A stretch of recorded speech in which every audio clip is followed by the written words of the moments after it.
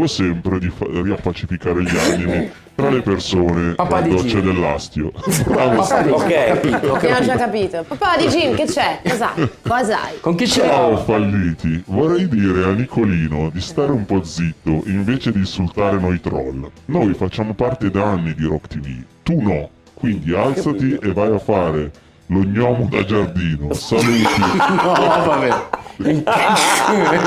Però devo dire una cosa. zitto, sta sempre zitto, quindi che, cioè, stai un po' più, più Papà zitto di così non parlo creativo più. nel- nel- nell'insultare. Però c'è una, co- una cosa bella, c'è che Nano da Giardino ha, qual- ha un po' di senso. eh. C'è qualcosa, eh. Farei il nano del Signore degli Anelli, quello sì. Eh, no, Eh, bravo. Però comunque sto sempre zitto, quindi perché più zitto di così non parlo più. Cioè, non va. No, no, sì.